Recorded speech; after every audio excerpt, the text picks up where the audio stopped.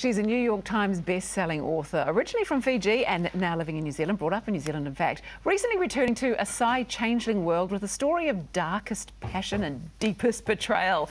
Please welcome to the Harvey Norman Lounge and the Cafe, Nalini Singh. Yes. Welcome.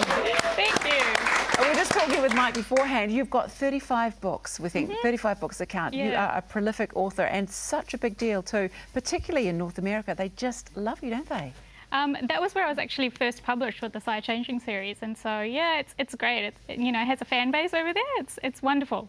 How cool that your books have reached all corners of the world and you're able to, you know, sustain a living out of it. Doing probably all right with the amount of books you're selling, just quietly. Uh, but how did you get into it, out of curiosity? Um, I've always loved reading. You know, I'm a big big reader. From and then at some point I was just like, I can't find the stories I want to read, so I just started writing them myself, and And- that's and- where it began. And were you, you know, were you going towards a career in that? Or did I hear you were a lawyer? I was a teacher lawyer. and- I was a lawyer. Like when I was growing up, I didn't know any other writers. I didn't know you could make a living as a writer. Particularly not in New Zealand. Yeah, it was just not something I thought you could do. So I thought I'd better have like an actual job, so I'm not starving in a garret, you know.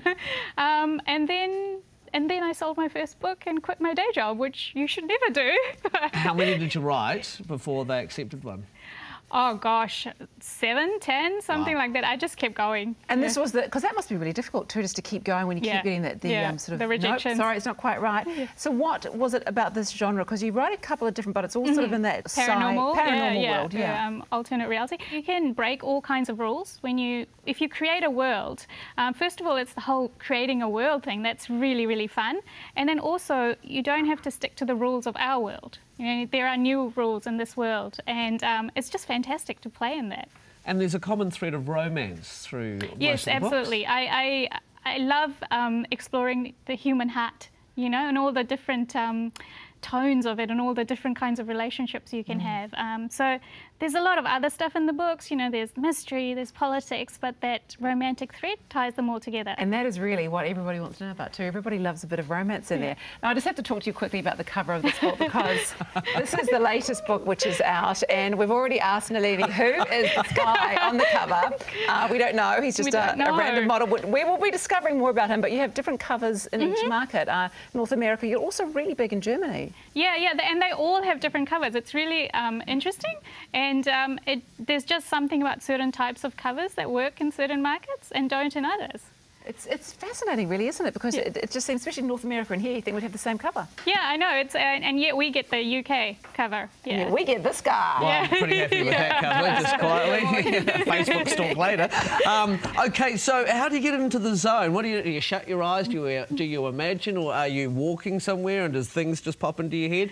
Um, it's a little bit of all of that. Like, uh, I could be thinking of something and, oh, yeah, got an idea, I must write it down. Always have a notebook with me. But in terms of sitting down to write, I just sit down and go. And because I like travel as well, so I've kind of learned to write anywhere.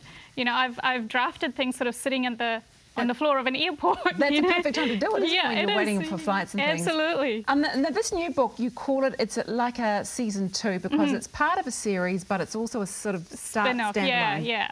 So you can definitely, you know, if, if you've never read any of my books, you can start with this one, no problem. So what's the story? Oh, what's the story? So there's a telepath in there who can't feel emotion because otherwise she would um, go insane or, you know, um, something terrible would happen. And then you've got a shape-shifting bear.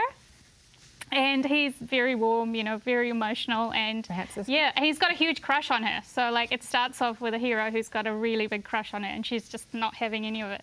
So Oh, fascinating, absolutely fascinating. And you know, millions of books sold around the world. So if you've never picked one of her books up, you should. Yeah. Yes. Thank you so much, lady. And not only working on this one out, there's another couple out this year as well because Nalini likes to keep busy.